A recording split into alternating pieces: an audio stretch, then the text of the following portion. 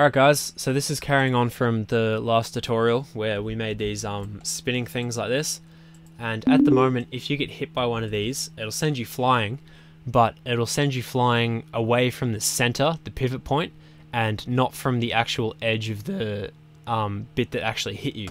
So what I'm going to try and do is I'm going to create a variant of this um, and it's going to send you flying away from where you actually got hit.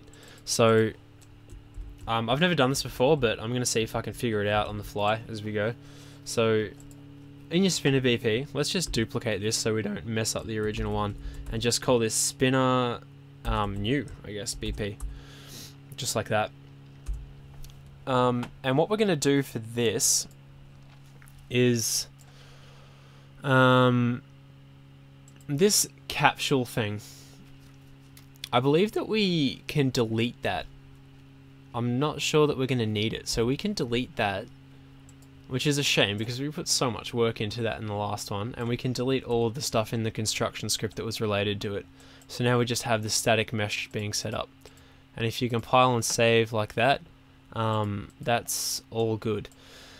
So now, um, what we want to do is with the cylinder, I believe we can go simulation generates hit events like that.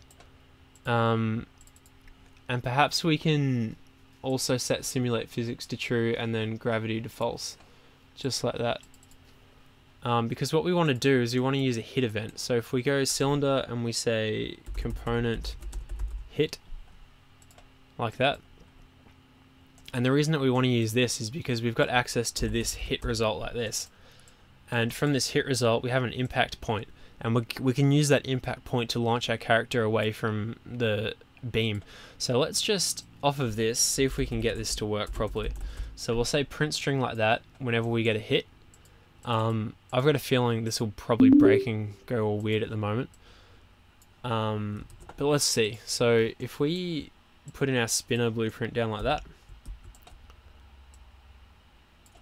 and we hit simulate, what happens?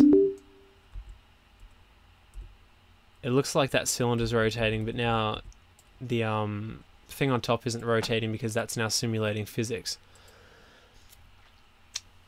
So, what we did that just move up as well? Yeah, okay, so that's been pushed up and it's balancing perfectly on top while that's spinning. So what we could do is we could add an angular force to that. Um, Or maybe, can I just not simulate physics and have it generate a hit? That'd be nice, you know? I'm not sure that that'll work, but we can try. So let's just go like this. Okay, it's spinning. No, it doesn't, it doesn't, oh wait, we got, yeah, we got hits. Hello, hello, hello. Okay. So maybe that did work. Weird. Okay, well, let's roll with that then. So basically those settings were um, for the cylinder, simulation generates hit events, um, and nothing nothing in simulate physics is set. Simulate physics is set to false.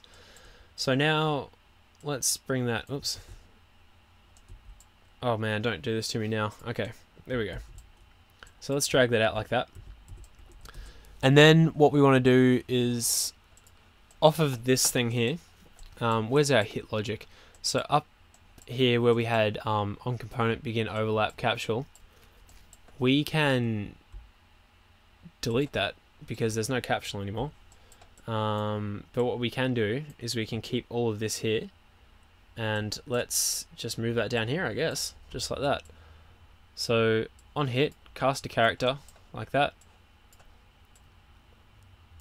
Um, other actor is going to be hooked up to the character like that. So if it is a character um, then do this. We're going to launch.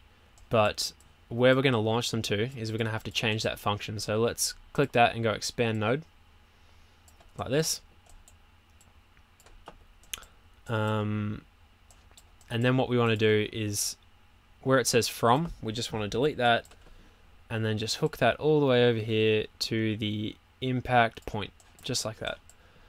So we're getting a unit direction vector from the impact point to the location of the character, and then we do the launch. Okay, let's see if that works. Not. hopeful, but we'll, we'll try. Yo, it actually worked! Oh my goodness. That is just crazy. Okay, maybe not. so it's a bit buggy. I mean, it kind of works. Like, the hits kind of work. If you really run into it, it seems to work. Yeah.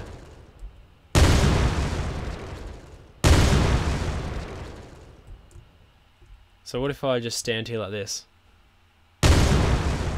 Yeah, it doesn't want to work like that. What if I make it a little bit faster? Just like that. Yeah, it kind of just pushes through.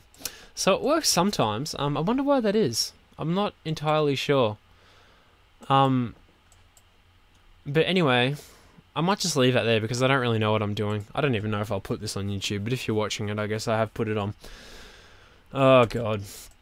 Anyway, that's an idea for you to play around with if um, that's something that you're interested in. Maybe you can figure that out, but um, I'm just going to leave that there for now because I don't want to spend too much time on it. I'll see if I can sort it out properly and then maybe I'll make another tutorial.